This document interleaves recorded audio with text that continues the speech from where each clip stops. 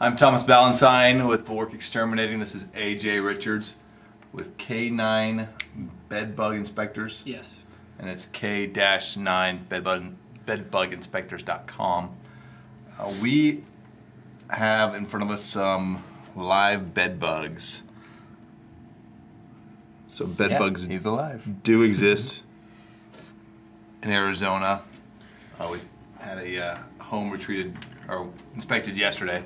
AJ actually does inspections for bed bugs with his dogs. His dogs been trained to sniff out bed bugs and their scent. A very effective way of of determining whether you actually have bed bugs or not.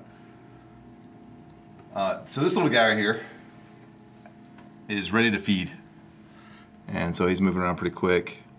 Um, AJ actually has an allergic reaction to bed bugs. He's he's let them feed on him before. Do you have a? Where's your arm? Still. Yeah, you still see the scarring. This is all scarring right here, the brown. That's that's about two months old. These patches. Over here on this side, that's the latest feeding actually by this guy about two, three weeks ago. So he's hungry. So that's what's left. He hasn't been fed for two to three weeks, and you've got to keep him alive so you can continue to train your dogs. Yep. Yeah, that's what all these little vials are for. So, any rate, uh, I know when you go into these houses, you got to be a little freaked out, you know, thinking you might be able to pick some of these up in your shoes or, Yeah. or whatnot. Yeah, always, always. So, I mean, I've got to be very careful, not only myself, but my dogs. Right. Like, they get hi- hid in their fur, that kind of thing. So we've got to be real cautious that we don't take them home. I'm, I'm, I can tell you that my wife would not be satisfied with uh, living conditions if I brought these guys to the house. So. Don't want to do a video on how quickly a home gets infested. right. So, in my uh, infinite wisdom, I decided to uh, recommend to AJ that he protect himself, and I believe this will do it. This is bug repellent. Nothing fancy, but uh, I was talking Over the to counter, typical stuff, huh? Over the counter, typical stuff. Uh, this one doesn't have any DEET in it. Uh, this is a fragrance free. Uh, Picardin is the active ingredient. So what we're going to do, since this guy is ready to feed, typically if you put him on your arm, he would immediately begin to feed. I'm going to spray my arm down with this, let it dry, and then we're going to put it on my arm and see if uh, see if he actually will uh, try to feed. Do we need to? Rub it in there a little bit. I need to rub it in there. I can't. Can I use my other hand? Yeah, just don't use your forearm. Okay. We're trying to keep it separate so that uh, I'm actually gonna let it feed on me. I know, kind of gross, but uh, we're gonna use my other arm to see if it'll feed on on me as soon as I put it on the other arm. So Thank goodness that's fragrance free. yeah, Yeah. you How's it know. looking? Good. So I, I find that they like that real meaty part of the forearm. So we're going to put him right there.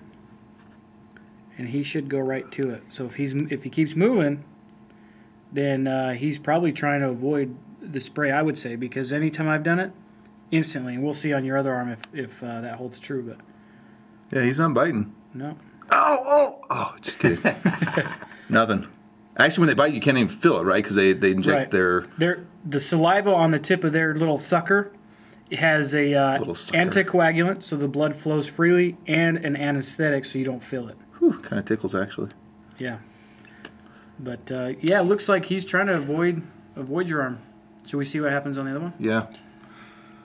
I, I'm pretty happy actually with not being bitten right now. So So, um, do you speculate that the um, uh, the the bug repellent is damaging to the uh, bug, or is it just literally a repellent? Uh, I would say my my best, uh, you know, speculation would be that they're just avoiding it. They're- Yeah, it's I really don't want to do this right now.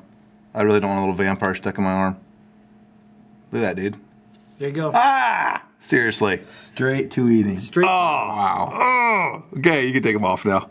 You can't even feel him. You got I know, I know, but I just don't like it sitting there.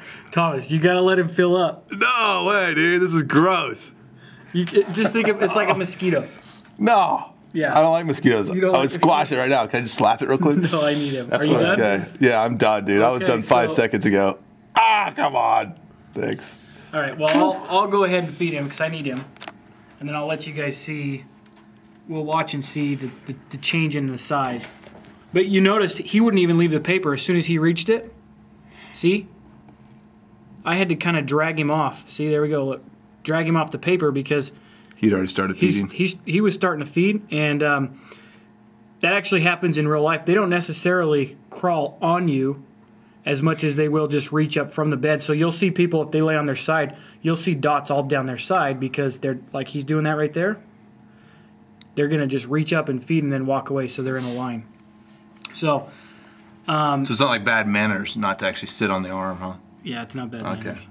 So anyway, I He's can just trying to be polite. I can Yeah, actually no elbows on the table. Yeah, I can actually feel him right now, and the camera wouldn't pick it up, but you can see his his uh, little straw-like sucker sticking into my arm.